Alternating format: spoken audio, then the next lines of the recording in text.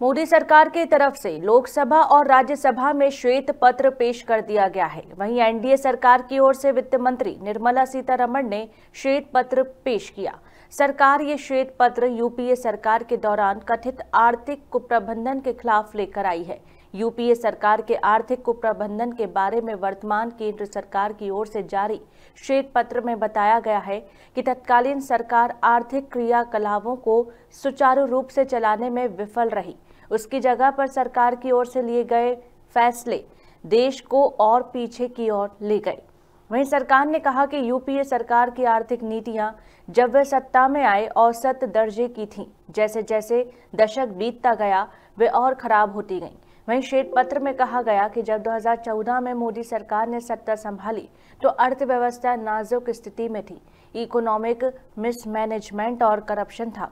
श्वेत पत्र में अनुसार यूपीए सरकार के निराश करने वाले निवेश माहौल ने घरेलू निवेशकों को विदेशों में अवसर तलाशने के लिए प्रेरित किया। वहीं मोदी सरकार ने कठोर फैसले लिए जिससे अर्थव्यवस्था पटरी पर आई। देश की अर्थव्यवस्था अब दुनिया की पाँच नाजुक अर्थव्यवस्थाओं से शीर्ष पाँच अर्थव्यवस्थाओं में पहुँच गई है। वहीं उन्होंने कहा कि हमारा लक्ष्य दो तक भारत को विकसित राष्ट्र बनाना है। One last word, sir, on the concerns about center not giving money to the states. The big debate which is going on because some representatives from the government of Karnataka are also here. Support is being extended by um, Kerala government. And when I was here answering um member Adhir Ranjan Chaudhary, I know Tamil Nadu also voiced concern.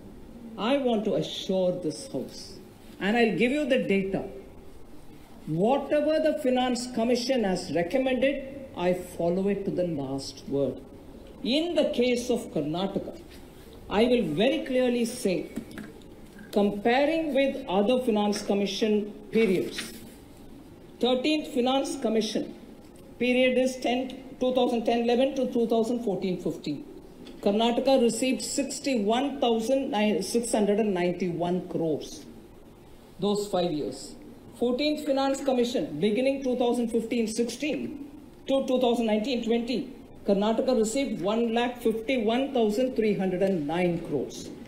Our current 15th Finance Commission, which we are now from uh, 2020-21 disbursing, as of 31st March 2026 is what that commission will relate to. But for the four years, Karnataka has already received 1,29,854 crores. Four years compared to five years then. When five years, sorry? I'm talking about Finance Commission, madam.